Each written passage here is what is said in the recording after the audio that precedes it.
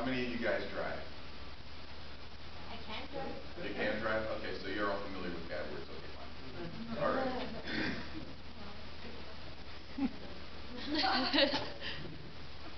I want to wage a war old school. Because maybe I'm just too old to know the way it goes now. They move too fast and last too long for me. They switch on the televisions by themselves and invade my living room, vomiting collateral damage on my carpet.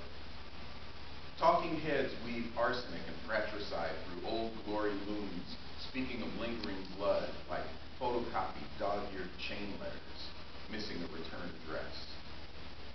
It makes me double my fists and stamp my feet with no one to scream to, and this ain't the way wars went back then. I want an old school nemesis, charismatic and wild-eyed, someone you can point to and say, him, that's the bad guy. Because maybe I'm too old to know the way enemies are now.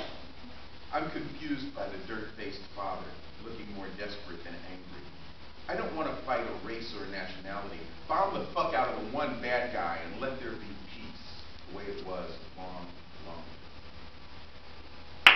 And let, and let my soldiers be heroes with a noticeable limp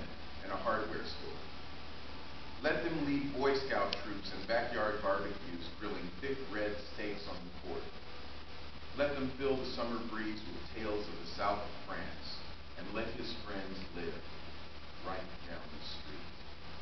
That's how I want my war. I want it clean and clear like a Bobby Darin song, and I want it to be just as short. Yeah, that's how I want my war. One 20-point headlines and bring the troops back. No more, no assembly lines flag draped coffins. No more children left on the front more senators pushing papers and numbers. No more epithets nor noses flared.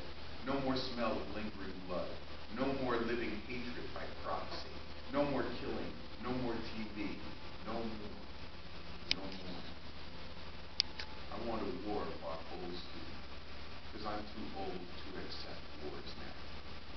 J.P. Sousa and Boys Come Home, clean like a Bobby Darin song. It's just